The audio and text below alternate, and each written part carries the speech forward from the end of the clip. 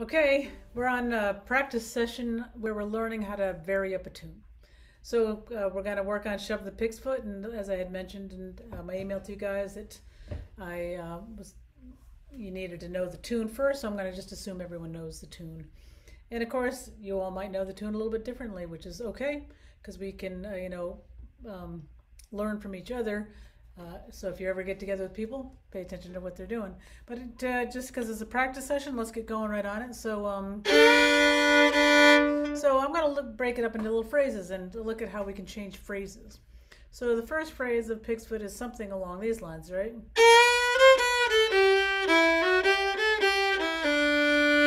Okay, so um, so um, play it a little slower. Three, four.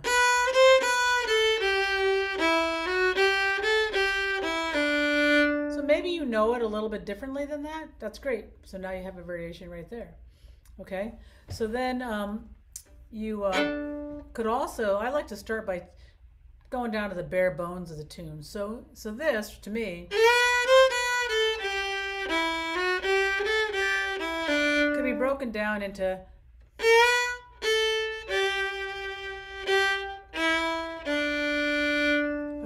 Because then you can kind of fool around with rhythms. So, uh, I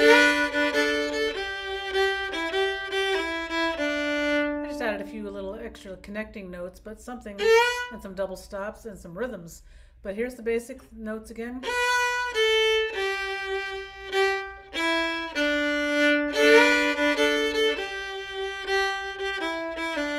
Again, I'm kind of jumping on the beat a little bit there on purpose. Two, three, four.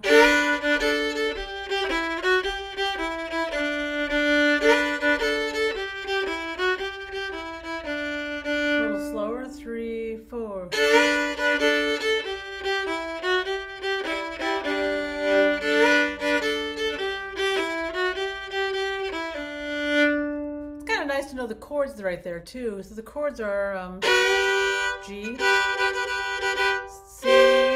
C, as in cat, back to G.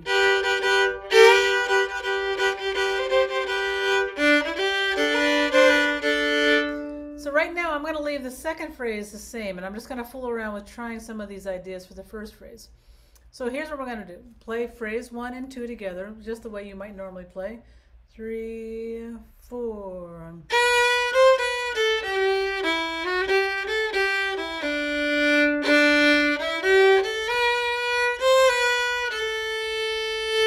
Okay, now let's try the simpler version. Three, four.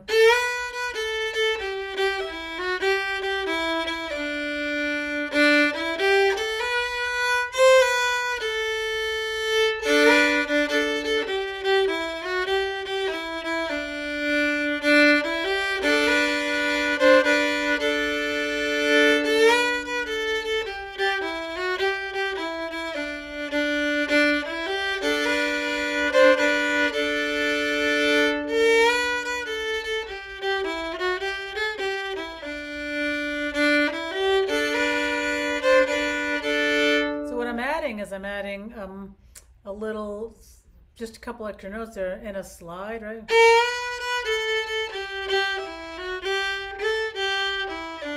Okay, so I put that back in.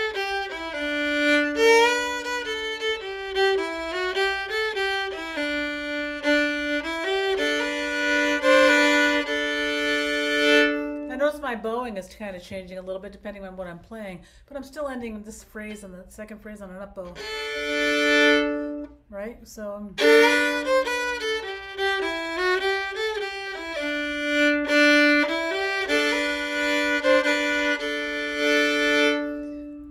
Okay, let's just try some other ideas. Um, so instead of going, let's just change one note there. And one note can make things a little bit you know, tricky sometimes. So instead of going, why don't we go B to D? Try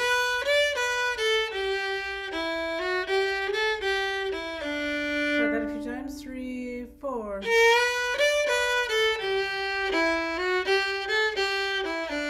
Three, four.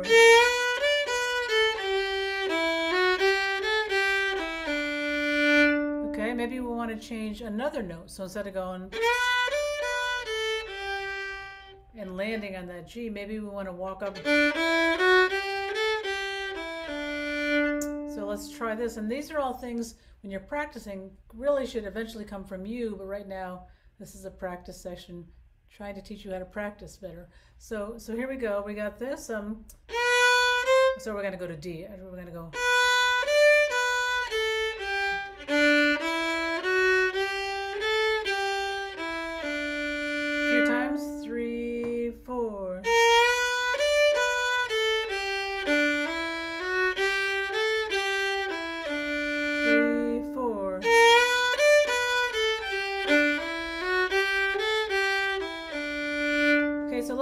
again with phrase two. We're going to keep phrase two intact right now because we got a lot going on with phrase one and we're just experimenting with phrase one. Maybe eventually you'll hone in on something that you really like that you want to keep, but right now we're just experimenting.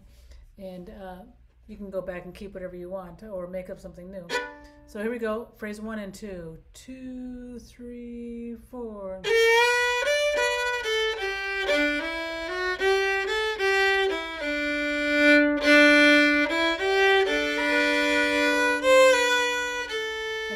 Thing. Two, three, four.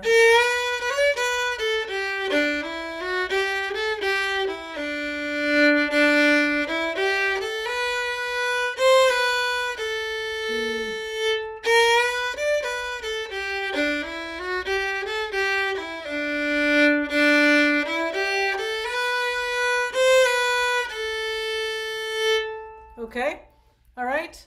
Um, let's make up something different. How about, uh, so instead of starting on the B, maybe we want to start. And again, I'm not, I'm trying not to change it too much. That one might be a little bit too changed, but let's experiment with it. We don't want to go too far from the melody. But, um, so here we go. I'm going to start on the D.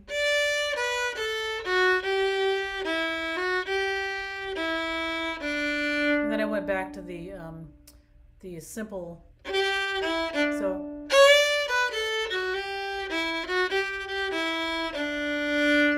and I tried to work that out so I ended on an up bow, but whatever you want to do there. Three, four.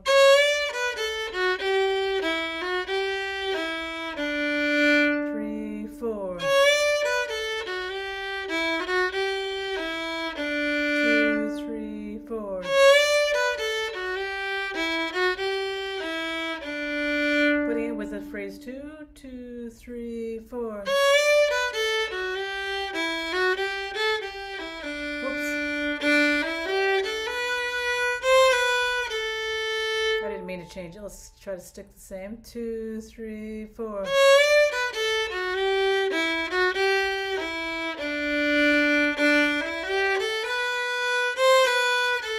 Two, three, four.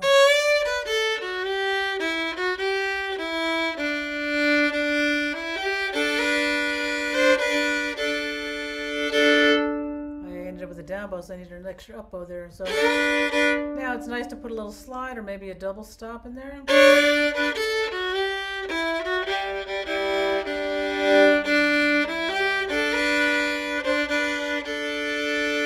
So just adding double stops is a nice way to vary up a tune. Here we go again. Two, three, four.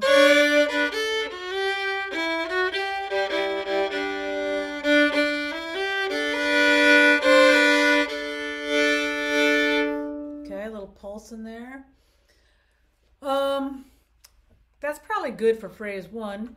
Um, but let's try to do that because it happens again, the phrase one. So uh, again, you can try your own things right now. I'm just giving you some ideas, but you can try playing along with me on your own thing. But right now we're going to play um, phrase one.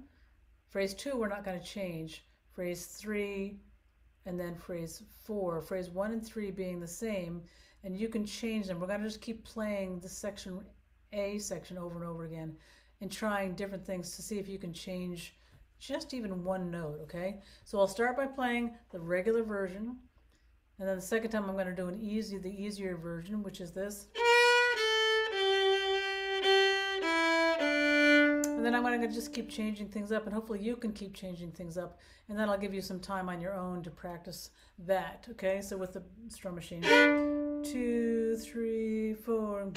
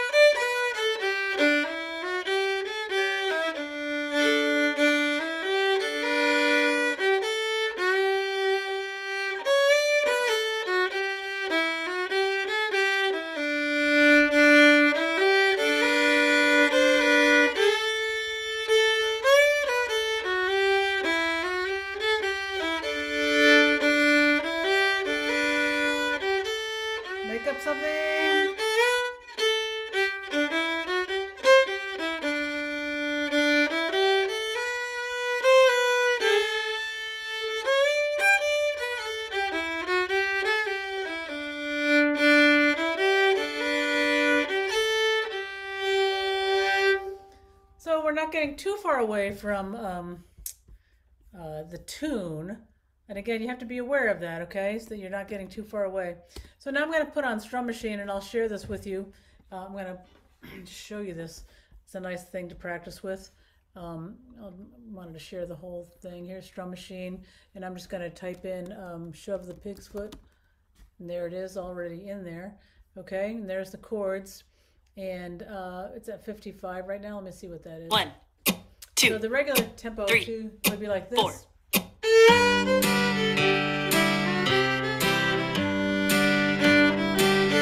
that's the tempo, but I'm actually going to start it a little slower because we're just working on improv. So we want to go slow. Again, I'm going to play it the first time with you, the regular melody, and then I'm going to stop playing. And I'm only going to play, well, it's the same chords, but I'll just put it here. We're playing the A part over and over again, okay? So here we go. One, two, three,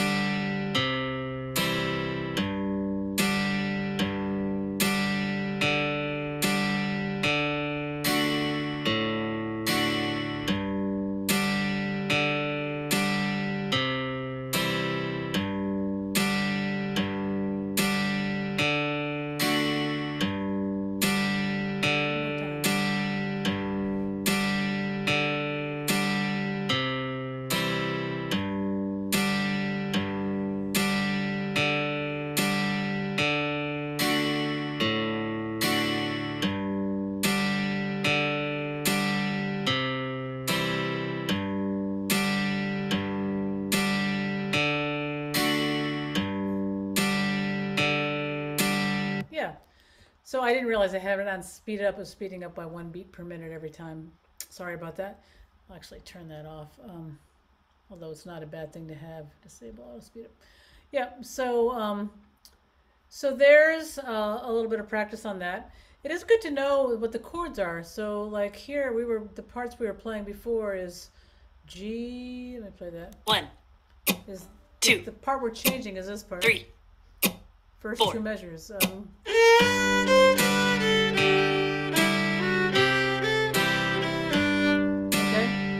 So we were changing those parts, so it's good to know what the chords are. You don't have to necessarily know that. Um, you can still, sure, there's plenty of people out there who improvise on tunes or change them up a little bit without knowing the chords. Because a lot of people's ears are very good. In most people's ears, you can tell whether something's not going to sound good. Let me just try something that doesn't sound good and see if you can understand what I'm saying. One, two, three. So I wouldn't want to start like in an F Four. sharp here.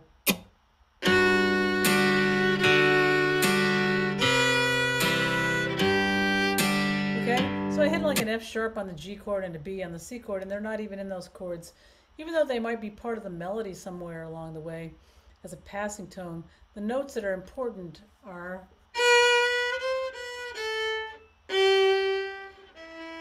Okay, so that's on the G chord. One, two, three, We got the B, four, B,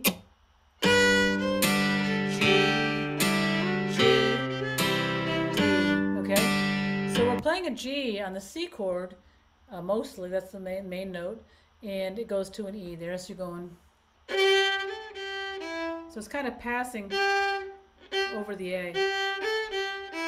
And then go back to the E, which is so C, E, and G are in the C chord, and then D is part of the G chord, uh, G, B, and D. Okay, so we can use that. So we could do. Um,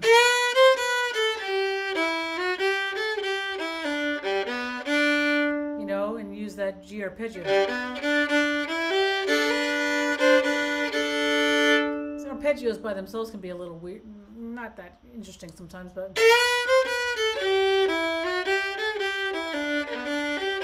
So that's kind of nicer because that's an arpeggio, but it doesn't sound as, as, as uh, I don't know, arpeggiated. I don't know, even though it is. You're starting on the third degree.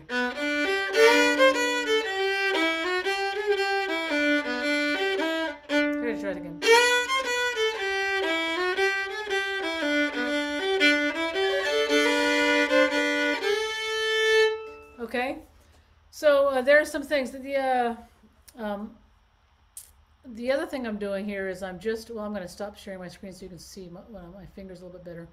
Is when I go to that um, D, the uh, the D chord, which is the second phrase, the end of the second phrase, and there's an A at the end, so.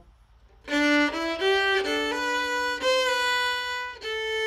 of just hitting an open A, I'm hitting a fourth finger A with my open A. And that gives it a nice, um, you know, fiddly double stop.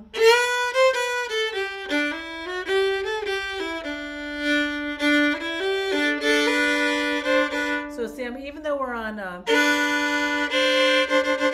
the C and the D there, uh, it still sounds okay because I'm passing through that. So just, okay, so there's on the second phrase, just keeping it simple still, staying around the melody, I'm going, I'm doing a little hammer onto the B. Slide. So even that's a little variation, right? Then you add the double stop, you got another variation. A little pulse, you got another variation.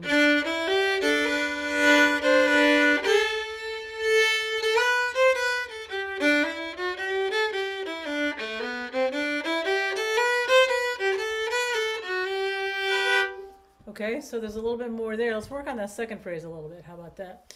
So now uh, when I'm practicing, I like to, again, I like to do things in phrases because there's just so much going on. So I'm going to keep the first phrase the way, whatever way you know it right now. And we're going to work on the second phrase. And again, I'm going to play the second phrase the way I know it, but that might not mean, that's not necessarily the way you know it. Um, so um, let's try uh, this right now. Okay, so that's what I'm going to play. I actually even did the hammer on there. Let's just do that. Three, four.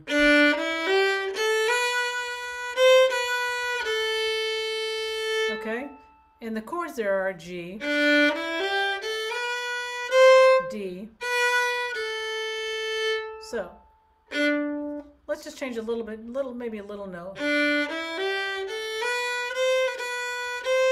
So I'm just going to go back and forth from the B to the C. Common fiddly thing to do.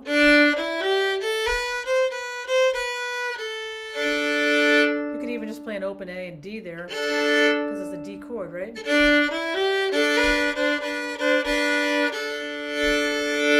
Okay. The other thing I like to do when I'm doing a double stop like that on an open D and A is I might grab the D by itself and then pull into that A.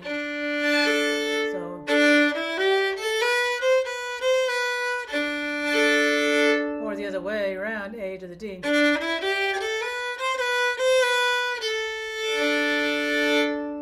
Then you have the melody a little stronger, so.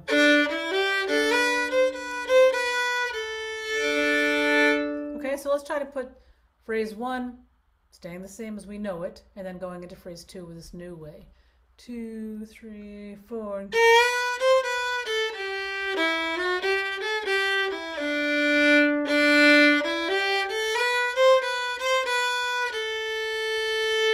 Try it again. If you want to add a double stop, I'll try to slow it down again. Three, four.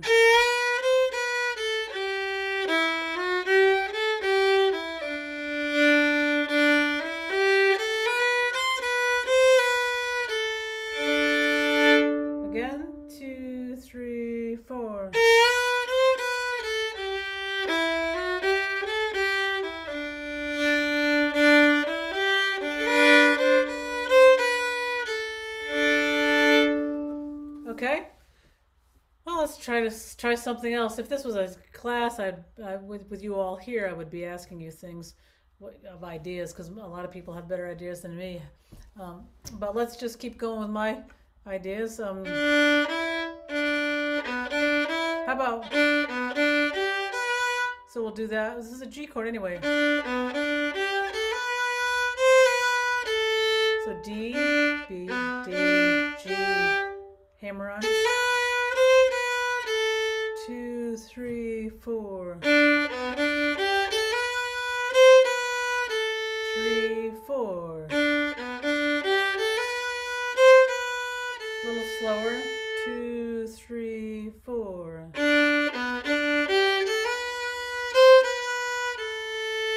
Two, three, four.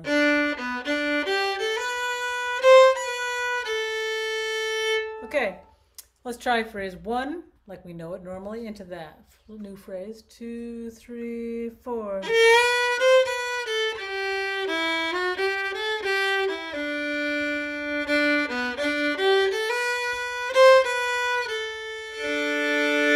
Okay, let's do it with this. Let's do it with the um, um, what is this called? Strum machine. I'm only gonna do that part though. Okay, it's at 38. One, two, three, four.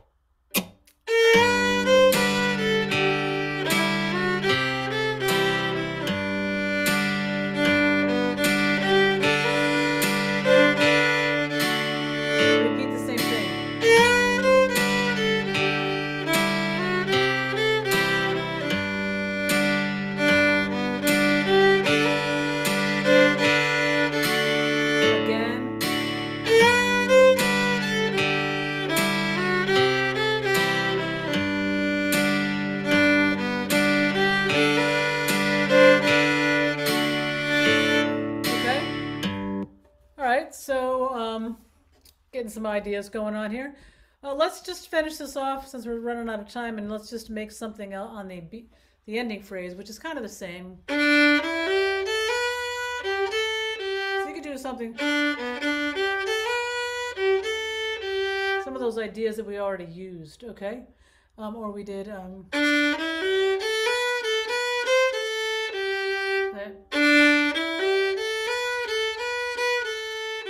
something repetitive there. It doesn't matter. You know, just try anything. Uh, oh, I see. This is what I play normally. So maybe.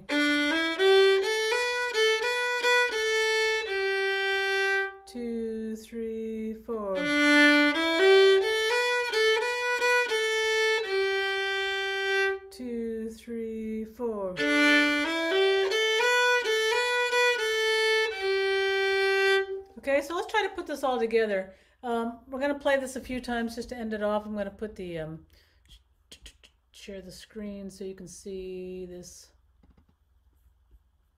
strum machine. Okay, I'm gonna let's see. Got to take it off that. All right, so we're just gonna do the A part. Okay, and here we go. Um, play it a whole bunch of times. I'm just gonna be varying it up. You're gonna be varying it up the whole A part a bunch of times. One, two, three, four.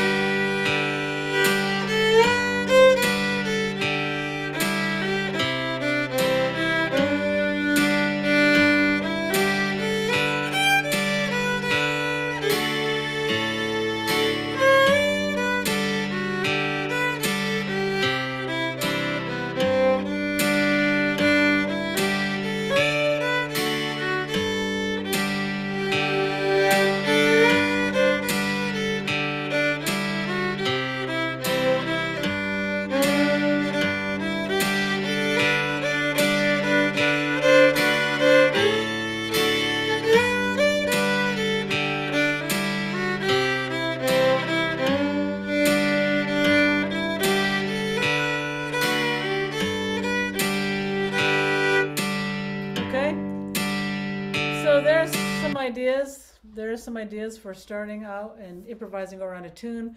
We might look at the B part of this tomorrow, or we might look at another tune. Um, I had mentioned we'll do whiskey before breakfast and uh, Angeline the baker. So we'll see how how what I'm feeling tomorrow when we practice. And again, it's uh, just a practice session, so um, hopefully you're trying things on your own as we do this. Hey, thanks for joining me, and I'll see you next time.